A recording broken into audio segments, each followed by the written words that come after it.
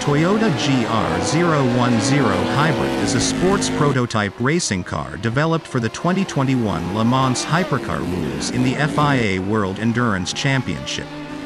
The car is the successor of the Toyota TS050 Hybrid, which competed in the WEC from 2016 to 2020, achieving two double WEC world titles and three straight victories at the 24 Hours of Le Mans from 2018 to 2020.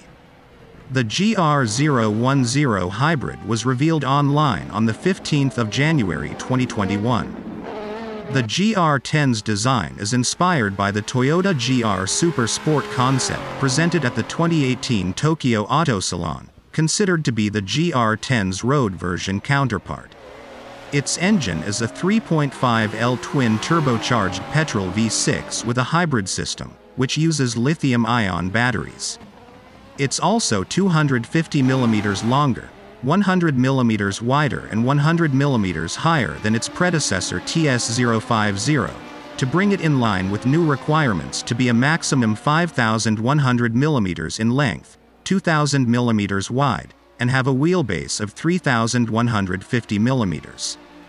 Total power output is capped at 680 bhp so the Toyota's electronics will reduce the engine's performance when the hybrid system is deployed. The development of the car lasted 19 months and took place mainly in Cologne.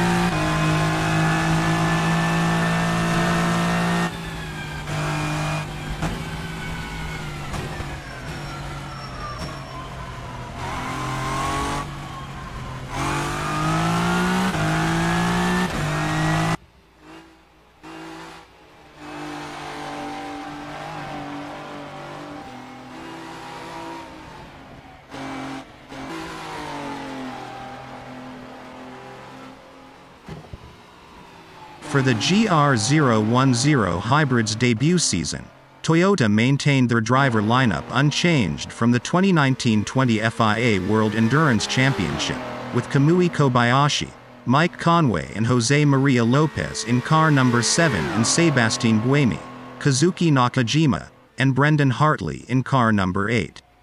Nyck de Vries remained as test driver, with Ryo Hirakawa joining him in development duties halfway through the year.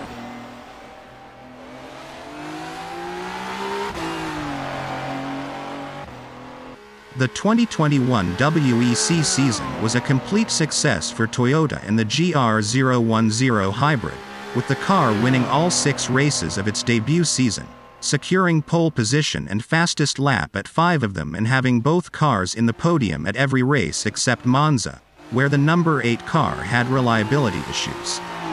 With the win in the first leg of the Bahrain doubleheader finale Toyota secured the Hypercar World Endurance Championship. Furthermore, at the 2021 24 Hours of Le Mans, Toyota would secure their fourth straight overall win in the event and the first for the number 7 crew of Conway, Kobayashi and Lopez, who would go on to repeat as World Endurance Drivers champions at the end of the year.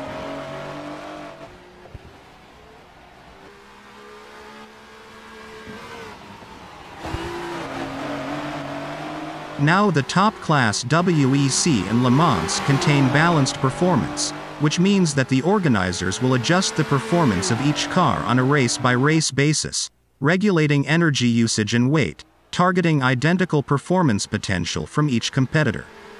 That should ensure close racing between Toyota Gazoo Racing and its hypercar competitors Scuderia Cameron Glickenhaus and ByKolles Racing and Alpine, which will present an additional challenge with its LMP1 car.